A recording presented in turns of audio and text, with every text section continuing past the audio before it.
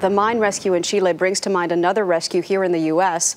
CBS News national correspondent Jeff Glor is in Somerset, Pennsylvania, where you might remember back in 2002, nine men were pulled from a flooded mine after 77 hours underground. Jeff, good morning. Hey, Maggie, good morning to you.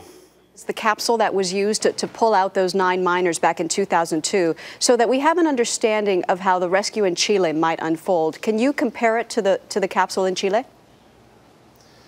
Yeah, I mean, very interesting here because uh, the folks who were designing the capsule in Chile consulted with the people who designed this capsule. Uh, this capsule was built in 1972 but wasn't used until 2002 when they had that rescue here. This capsule is a little over nine feet tall, weighs 600 pounds.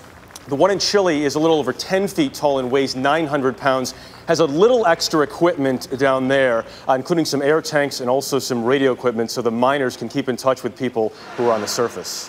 Jeff, uh, the first thing that struck me when I saw you standing next to that capsule is how narrow it is. Uh, can you get in it to give us yeah. an idea of how, how cramped the miners might feel in there?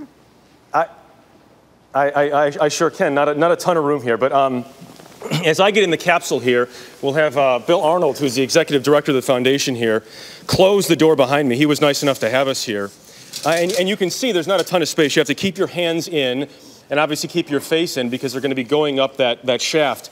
Um, what's interesting to note is that when this rescue happened in Pennsylvania, they were going up only 240 feet. In, in Chile, you're talking about 2,300 feet, so 10 times the distance. Hmm. How long would they spend inside that capsule?